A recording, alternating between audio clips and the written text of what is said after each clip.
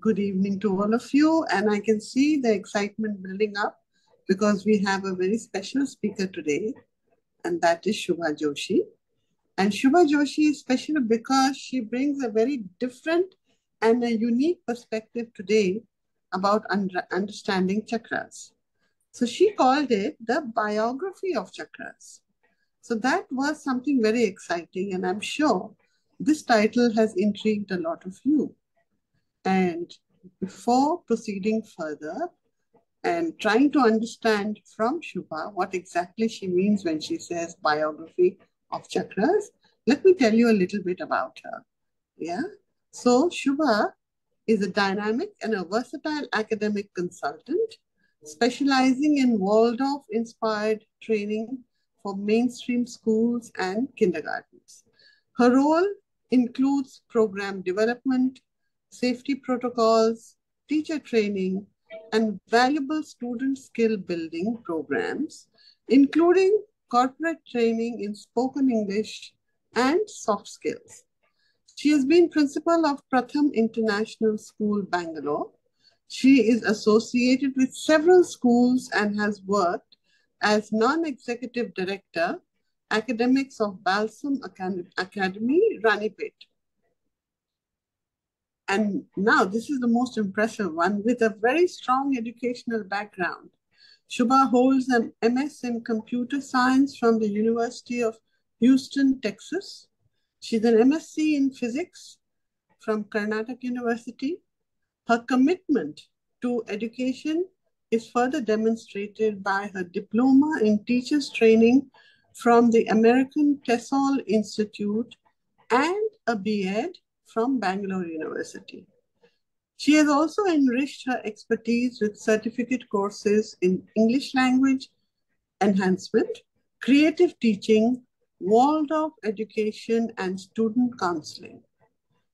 Now, this sounds so big, right? I mean, there's so much to her, but beyond her professional endeavors, Shubha's personal interests include reading, exploring traditional arts and crafts, and delving into human understanding. She is engaged in the practices of Redikall, anthroposophy, and Ho'oponopono. So Shubha will now delve into the fascinating theme of human biography based on chakras. So over to you, Shubha. The platform is yours and we're very excited.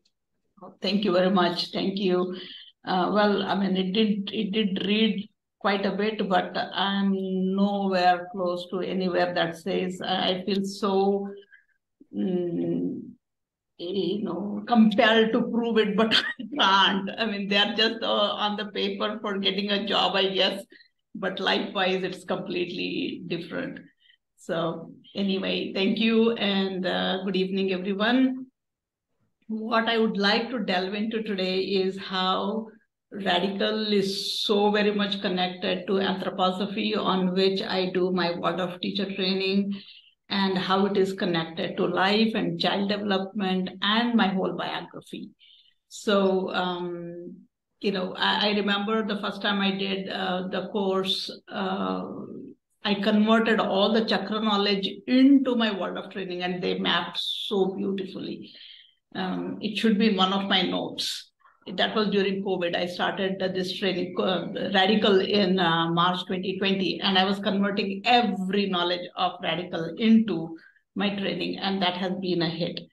Uh, I mean, hit in the sense not in terms of uh, like commercial way, but it touches people so so very well.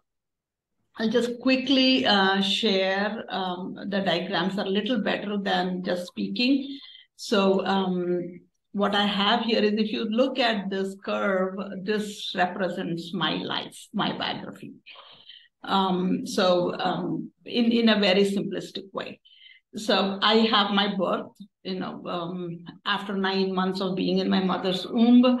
Um, with that begins my physical development on this planet Earth and goes on for about seven years. Uh, I mean, I'm still growing, putting on weight, losing weight, etc. You know, growing in terms of losing my hearing, turning gray, etc. but predominant growth of coming into this human proportion happens in the first seven years of life. And we label that, uh, I mean, that's uh, the band. I'll come to that a little later. Hold on to that. Once the dentition happens, the tooth falls out, the life forces available to my body is um, ready for the next development, which is emotional development. You know, that um, physical development in, in anthroposophy or Waldorf education is connected with my hands and foot. And emotional development is something to do with my heart, development of my feelings, my emotions, etc. So this goes on for about seven years until the puberty hits. This is when we see children having lots of confusions, lots of breakdowns because there is adolescent issues, um, and and they really don't know where to turn on to. Um, and this is um, a stage that we got to really work on.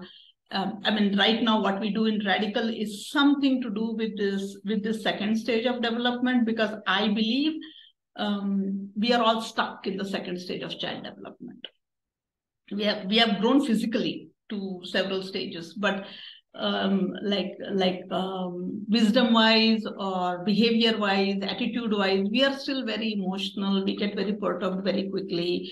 I'm still angry jealous upset whatnot whatnot. So very much like that second stage of development i'm stuck in and very few of us um, are privileged or blessed to move over to the next stage which is intellectual development that goes on till 21 years of age, that is when the brain development happens, the myelination, the connection between neurons, ability to understand, ability to judge, take decision, take risk. I mean, not risk taking is up to around 14 years of age, but taking calculated risk and exploring all that happens in the third stage of development. So birth till 21 years is ideally human childhood, the longest ever because we do have elements of my physical body, then I have my etheric body, I have my astral body, and then I have my ego body. And, and for that to develop to some extent, we do need that long time. And around 21 of years of age, the ego body develops, provided my first stage of development, which is birth till seven, second stage till 14, is done with care, with awareness. Um, and and many of us may have missed it. Many of us may have young children. We can go back and do that. If we have not done we do have chance to. I mean Redikall is definitely there to help us um, understand why we did what we did and to kind of get the um, understanding of um, of our purpose in life and all these until 21 years are physiological development of the body. You know the physical is um, my hands and legs my emotional is my heart breathing rhythm etc and intellectual development is all about my brain understanding cognitive abilities. So this stage you know we are in that green band. So the intellectual stage continues till about 28 years uh, where I'm still I'm graduating from college, looking for job, getting a job, settling down in a job, so learning about the job, etc. So that goes for about 14 years, the intellectual development. And then I get stuck in my emotional again. You know, it may be a little different now. You know, 28 years, you know, we may be getting married. We have to understand our spouses, another family. Maybe, you know, there is a clash with my boss in, in my office and promotion issues, whatever. There is a little bit of, again, turmoil that we go through for another seven years of time, plus minus you know six months to a year so about anywhere from six to nine years we kind of go through that phase if my first stage was done well, 7 to 14 was done well, dealt well, and there was a guidance that I received, this stage will not seem as bad. But I then quickly transitioned into physical. You know, 35 years, I'm settled with my job. Maybe I've adjusted with my spouse, my in-laws. So I'm now building, I mean, looking about, you know, building a home, um, buying a car or settling down, something like that. You know, there's still a physical development, but in terms of more material growth, maybe I get a promotion, I'm happy with the salary I get, etc. So that goes on for about another, you know, until 49 years of age. So I get that settling down again for another 14 years of age. and again i get into my uh, emotional stage you know 49 i start wondering oh my god what am i up to you know for me Redikall was right in this in this uh, period. I'm i'll be turning 56 next month. So right in the middle of this stage is when i got into Redikall. You know there is support provided we are ready for it. And that something has to happen previously. You know many of us go through this emotional turmoil but we are never ready to take any help right? Uh, even though they go through a lot. But anyway so this is the stage when there is a little mature maturity in terms of uh, interpreting the emotional and i start thinking about i mean is it my problem? Could there be my um, you know uh, contribution to this problem or should i just blame somebody else? So I'm, i've matured a little bit hopefully and then i get into intellectual stage again. You know i begin to understand okay there is Redikall to help me there is anthroposophy to help me i can read this i can reach out. So let me understand this. This is where my intellectual or knowledge gets converted into wisdom. You know where where people i mean see many many youngsters these days don't respect elders because we are not worthy of that you know because we don't know. We are only demanding commanding out of our own fears whatever so this this is good you know i'm happy i'm i'm actually looking forward to this and i'll have next 14 years of intellectual maturity happening you know. Maybe i'll be um, a bit more wiser.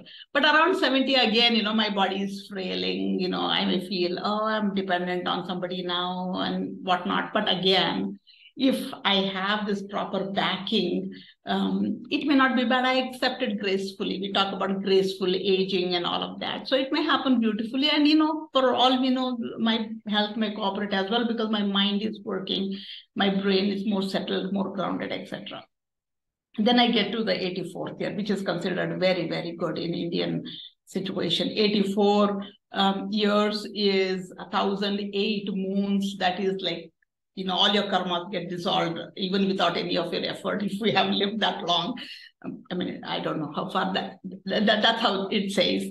So 84 years is when I'm ready to again go back into the ground, go back into the physical reality. You know, it's like excarnation. This is from anthroposophy where Rudolf Steiner talks about excarnating, going, transitioning to the next whatever it is. And and and i can i, I assuming i would have done uh, what i was supposed to do in this life when i took birth.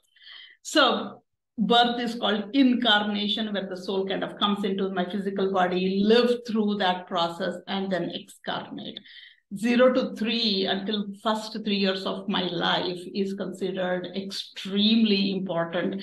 That is where um, the inclinations the actions the the expressions, whatever, if we are able to understand the baby, we will be able to kind of map the whole biography. This is the whole biography. We'll be able to map as to what the child has come here for, and we can guide them appropriately rather than telling them, you know, our family is doctor's family, become a doctor, or, or you have to earn more money, become an IT engineer. You know, we don't get into all of that provided we study the child in the first three years. And the minute the child is able to stand upright, balanced on both their feet, um, they have that inter, um, that identity, that ego. Um, I mean, ego in the good sense that I am an individual. So there's this physical development, emotional, intellectual. They're all intertwined. They all coexist, but one of them a little bit more dominant than the other. It's not exclusive. You know, they're all inclusive, but there is something a little bit more predominant. This is about the stages of our development in seven year cycles.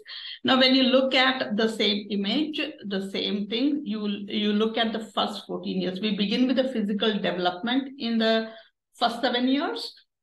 And then there is a transition. There's always this transition and going on up to settling down with emotions is my Muladhara chakra you know where i mean this goes so very well with maslow's theory also.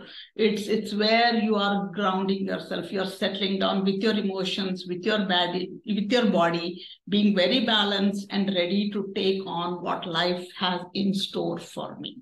You know this is where we in in in terms of Waldorf education or childhood development we say this is when we got to be very loving, caring, develop the imagination skills, have conversation with children, allow them to explore, free play, etc., etc.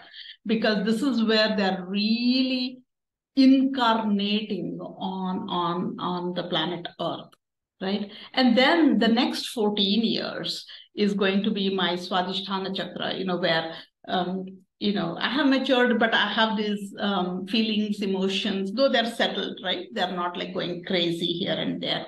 And I'm a little intelligent now. I know what to enjoy, what not to enjoy, how to do, how not to do, etc.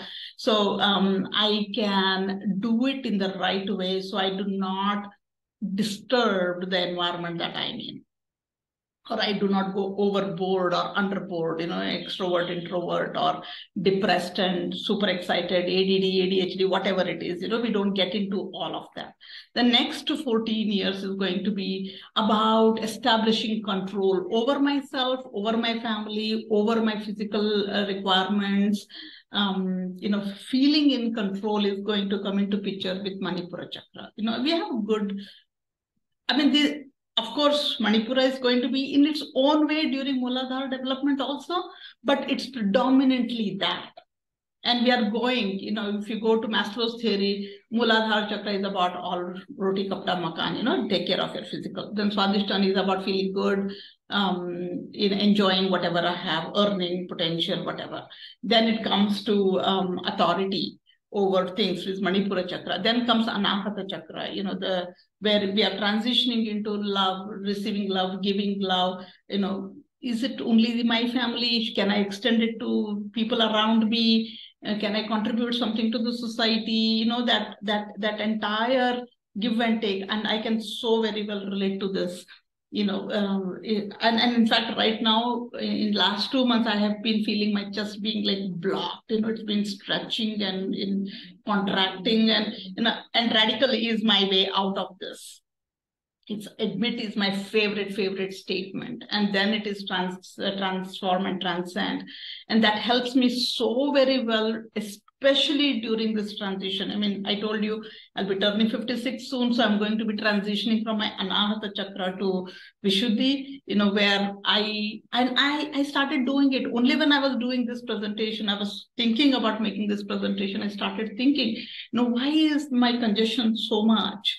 And uh, and I have started asserting without my knowledge. You know, actually a month ago I told Mamta also we had the chakra revision and i was telling her i mean august 28th is my day when when i really felt a clear uh, transition happening you know with with being able to say no with being able to stand in my space and and assert which is all transitioning me into that phase of chakra. And and hopefully it'll get better and and i'll be okay. I mean i'll be like Aatmn says, you know, um, um, with uh, easy, effortless, and fun. With ease, effortless, and fun. I mean, it would just happen because we are meant to do that, but we have so many blocks that is where Redikall comes into picture to clear all those blocks and get me going. And then finally, the next last 14 years is that clairvoyance that I can develop with, with all these chakras developed and in place where I could see why I was born for and, and what I can do in, in the remaining years that I have with me and achieve that that purpose that I have come here to do. Right now, I myself am still in that confusion. I really don't know. I mean, is it teacher education? Is it self-study? Is it something to do with community? And um, uh, so that confusion probably will will kind of erase in that intellectual development of the green band where the knowledge will become wisdom where vishuddhi becomes a little bit more stronger. And then i get into that agya chakra where i can i can foresee what's in store for me and and hopefully um, uh, you know um, get through and excarnate very gracefully right? So um, this is in short as to um, what I wanted to cover. And I think I have 10 minutes left. If you have any questions, I can go here and there. I mean, I, I just lose track of time. But if you have any questions, I would love to take it up and see how best I can clarify some of the doubts. So who would like to come forward with their questions? Yes, Sharon. Yes, you raised your Hi. hand. Hi, that was a beautiful presentation. Uh, I was looking forward to this. I actually uh, tuned in yesterday and then realized on the poster it was Wednesday and not Tuesday. so thank you. It was a beautiful presentation. I have one question. You know, I saw that towards the latter half of our life, we come to know, you know, what we should do, what we shouldn't do, what our life purpose is. How can it be made easier for the younger generation so they don't have to reach like 56 or something like that in order to yeah. Uh, no, because they are they are so like you very in one in beginning what you said is like older people they're not listening to older people not because they are disrespecting because we just older people are this is my way or the highway type and they have yeah not, they are, exactly. they're not participating in that sort of my way or the highway. Mhm. they are highly intelligent they are highly developed.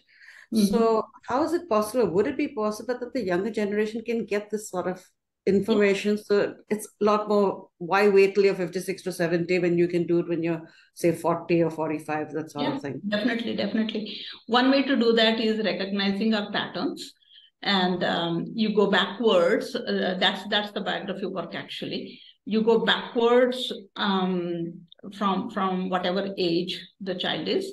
Um, I mean, if, if you want to help the child, and if it is your child, and you can go back to their childhood and try to remember as much as possible from their childhood. And and I cannot remember from uh, for my children. And i want to get this biography for them. So i'm asking my mother my cousins and send me the photos and how they looked what they wanted.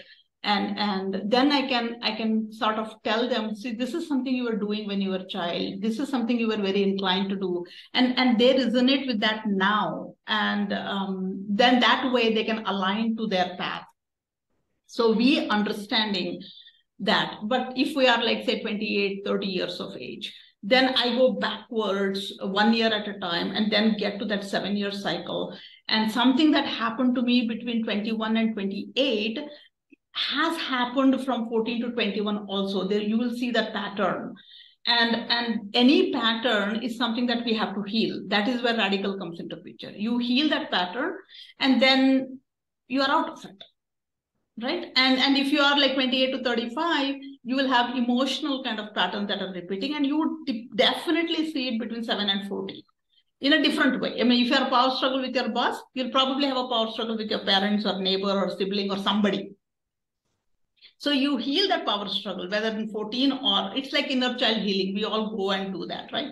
So you you do that part and then they're out of it. They're already mature to handle their next emotional cycle does that answer you, Sharon? it makes a lot of sense thank you because i've done a lot of inner child work so that makes Mhm. a lot all the different cycles i do know Mm. so it's thank you for sharing that i can go there heal that and then they're ready for the next one thank you so much You're very welcome. Anyone else has questions? Today is the day for real revelations. So anybody would like to ask anything more? Or ask Shubha to speak on something more on this topic? All right, maybe I could uh, give a little bit of work on uh, identifying these patterns or how do we identify the patterns, right? Um, I mean, if I if uh, plant study is one, um, I mean, even before plant study. So if if I take any man-made object, anything, okay, and um, this is mouse, right? So you observe it for five minutes, you know, just observe everything. And typically we would never have observed it.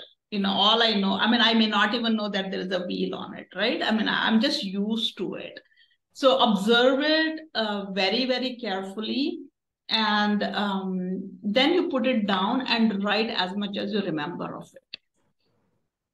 And somewhere in this, I've done a lot of this, so uh, I can assure you, somewhere in this process, you will see that reflecting in your own character, in your own behavior, in your own attitude. And, and if it is pleasing, then you're fine, you're on the way. But typically, anything that's pleasing, uh, it, I mean, to begin with, it may not be very pleasing. Something I don't like, something I thought I, I wish it was a little different kind, or whatever you know it rolled a little bit more freely you know so, th- so then you relate it to i mean i remember uh, mamta always doing this you know when i say something is aching uh, what do you not want to hear? What do you why when choking uh, what do you not want to speak? So you start relating to that and then heal it. And you do the same thing again next day again next day. In about two three iterations of the same object uh, for about five minutes. You will know in and out of it. In other words you know in and out of yourself for that aspect. I may not know in and out of myself. Right? So this is one exercise that we can do to kind of identify and heal if i don't know the pattern itself. So um, another one is to observe plants. You know, that's that's a wonderful exercise where typically the same time every day, if not at least 40 minutes to 45 minutes of a plant that you just go sit. You just uh, it's good if you take a tree because tree has more dimensions you know it has a trunk and a branch and leaves and flowers and maybe a bird nest and ants and all of that so you observe that and observe for 15 minutes and then write some words on, on what it is that you are connecting to. And then maybe draw the picture of the plant. And then go back and do it again the next day. Whenever you do it, it is uh, good if you do for seven continuous days. And, and there is shift happening in the plant so what we are trying to relate here is my first stage of child development is about physical development. My physical body is made of mineral world, you know, calcium, potassium, iron, whatever, whatever. And the second um, stage, we are talking about emotional, which is uh, coming from plant world, which is etheric body. Plant world is stationary, has life, but stationary doesn't have too much of freedom. And my third stage of development is going to come from animal kingdom, where I have desires, I'm feeling hungry, I bark, I have my, you know, security, I have um, my territory and all of those things. So human being has all these three, mineral, you know, plant and animal in me. And if I just remain that, then I never become a human being. So I have to go beyond all of these three, use my consciousness to transform and transcend these three um, levels to have that human consciousness and see what is it that i'm doing. You know am i happy with just building my home and having a car and you know painting my house looking at making it look beautiful wearing nice clothes? Am i done with that or there is something beyond? Yeah. Right? And again uh, self actualization as maslow says is the ultimate and we have to transform, transcend to that. Right. And that happens only after 21 years of age because I need to have my plant body in place, mineral body in place, and my animal body in place for me to host that soul that is wanting to progress. That's why the child development or proper child development becomes extremely essential. Right? So um, plant study is something that's going to give us that insight on on understanding the plant world within me, like cosmos and microcosm, macrocosm, and all that, right? Observing something outside is something inside. And third exercise could be uh, observing any bird or any animal. You know, we don't get to observe. We can just look at a video where you don't have any other animal but that one animal. So, for example, if you take um, a video of a mouse, um, like coming in and out of its hole and looking for whatever grains, pick the grain, go back into the hole, store it, come back again, look around, you know, look at its little legs, look at its little tail, and look at the way it has this whiskers and and and how it eats. And you know, if you keenly observe it for five minutes, you see that reflecting in me. Any animal is okay, and you can do different animals because each of them will will shake something different in us so this is when we do um, you know, during uh, when we are normal as part of daily exercise, like part of taking bath, you know, like brushing your teeth, taking bath, washing, you know, whatever. Just these exercise you do every day for a few days, then then you begin understanding, okay, all three are in me, all three I need to integrate, all three I need to manage, and then I need to go go towards what I'm destined to, to become in this life.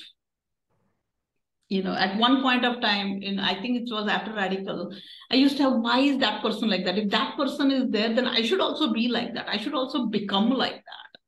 You know, though we know we talk, you know, that we are all unique and I don't need to compare and, and you have your beauty, I have my beauty, but that doesn't really sink into the subconscious, right?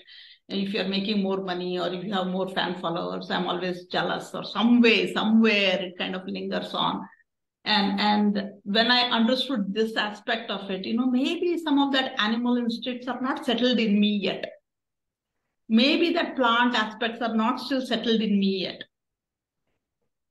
Right. And these are again related to like our Panch Mahabhutas, right? I mean, the first stage is more like earth element, uh, plant is more water element, animal is more like air element, and we have to transcend all of these and go to the fifth, the space element. But but everything, I mean, what I understand as of today is that crux is in that 21 years. And if I can't, if I'm beyond 21, I can always go back, you know, in my biography, track back and fix it, come back. So that that's the beauty of Redikall. Wow, yeah. Shubha, this has been so fascinating. I mean, all years, everything, because I think all of us are still stuck, you know, somewhere in the mineral, plant, and the yeah. animal world. And as trying to be humans, not realizing that we have not dealt with this area and still wanting to become that much human to evolve to the spiritual level, the space level. Yeah. So that is why we are not able to complete our journeys in many ways. Mm-hmm. I'm not saying we don't do it, but yeah. honestly, this revelation that you have given today, this is absolutely fantastic. Mm-hmm. So thank you so much for it. I mean, it, it's really uh, not a word was to be missed today. And that is what I loved about your presentation. Thank you so much. But Mamta has a question right now. So yeah. yes, Mamta. Um, I don't have a question because uh, uh, what she shared and what she explained, uh, you know, it's so crystal clear, and then you resonated with each and every word that that she was uh, speaking, and how we say uh, the world is our mirror, and then how she gave the experience, um, an example of uh, you know observing a, a computer mouse, and that also represents you. Absolutely. Okay? Absolutely. everything is energy and everything. Um you, you know uh, i uh, uh, i have heard, i had heard about her expertise in, in her presentation in her training and everything and uh, thank you Shubha. Today thank I had you. this privilege of attending your session. Oh, thank you. Thank you so much. Uh, thank you, Mamta. Thank you. Thank you so much. So, thank you. Thank you. And as rightly Sharon has a message, um, can we have part two of this discussion, please? You know, amazing. And that, that's true. I second it, actually. Thank you. Yeah. Sharon, you raised your hand for the same. I thing? have a question. No, I have a question. Uh, okay. Uh, I was very, I was very interested in this uh, thing. This uh, minerals, plants, animals. Is it like is the chakra wise? Is it like root chakra and uh, sacral chakra is equivalent to the animal or to the minerals or to the plants? Well, uh, you can relate it in some way as long as we remain that but we as human beings transcend so you kind of transform that mineral world into space element or, or plant world into the higher consciousness but um, like how i showed in the powerpoint your first 14 years is where the child development wise root chakra is one that we need to work on Got it. Please, I would love another session to hear more details. It's amazing. It's amazing. Absolutely fantastic. Oh, thank you. Thank you. I mean, it's, it's all because of us, right? it's my story there. so, Shubha, are you ready to come on for part two? Do you think you'd have more to tell us about not just biography, but you know, more in this direction, which will help our students and all of us also to understand ourselves uh, better, to appreciate Redikall better, to sort of be in that consciousness so beautifully, so that we are able to tide over in the real world with the mineral, the plant, and the animal world and move forward. Do you think you would be? I mean, I'm saying it on camera. Would you like to do it next week again? Next week, I'm not in town. All right, so we'll figure it out, and but Yeah. we'll definitely have you back with some Yeah. more elements that you think we can incorporate and have it for the Sure. students, everybody. Sure, sure. Thank you, thank you so Thank you. much. Thank you very much. Absolutely brilliant. Thank you Thank so much. And uh, I request all people present on the platform, please write in Circle of Peaceful Progress group your feedback because that is important. That makes us know what else you want for yourselves, you know, on the platform. So see you there at within five minutes of now. But right now, thank you, Shubha. Thank was you. very Yeah. and Thank you very much. I admit everything under the loving care of Redikall consciousness. so do we. So do we.